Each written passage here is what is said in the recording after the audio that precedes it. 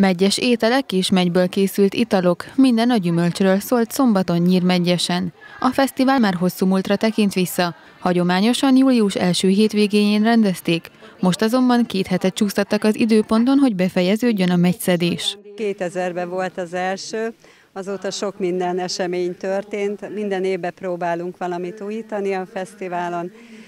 Nekem ugye a 2006-os volt a legemlékezetesebb, akkor még ugye falugazdászok voltak a megyébe, megyékbe településen, úgyhogy nagy falugazdász találkozót tartottunk, és nagyon sok szakmai nap volt, amit szeretnénk a továbbiakban majd fel eleveníteni, mert ez egy kicsit úgy elmaradt. A Megyfesztivál egyik programja a főzőverseny volt, amelyre gyümölcsös desszertekkel és hagyományos főételekkel jelentkeztek a csapatok. A megyei közgyűlés alelnöke köszöntőjében kiemelte, szabolcs Bereg megye híres a megyről, az almáról és a szilváról, ezek már a nemzeti értéktárba is bekerültek. Baracsi Endre hozzátette, a nyírmegyesihez hasonló kezdeményezések pedig értékeink népszerűsítésében segítenek. Maga a fürtös megy, az pedig a megyei értéktárnak is a része, és ezért is vagyok nagyon boldog, hogy vannak olyan települések a megyében, amelyek ezt a gyümölcsöt, a megyet, amely élettanilag is egy eh, nagyon kiemelkedő eh, gyümölcs, tehát rengeteg olyan jótékony hatása van, amely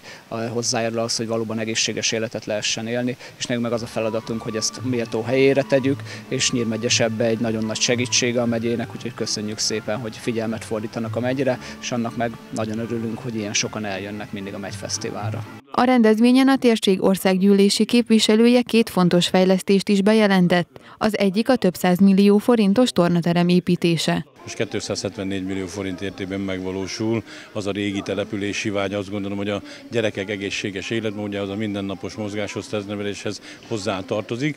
Az oktatási intézmény eh, keretének nagyon fontos része ez van. Aztán az egyház, mint civil szervezet most egy 34 millió 600 ezer forintos felújítás, templom felújítással járul hozzá az úgynevezett településkép pályázaton, hogy Nyírmegyesnek az összbenyomása és az itt élő embereknek, vagy az áthaladó embereknek az élményét fokozza, hogy igen, egy szép település településre érkezünk be. De további topos pályázatot is nyert a település. Az egyik ilyen beruházás a Nyír Megyes Máté közötti kerékpárút építés.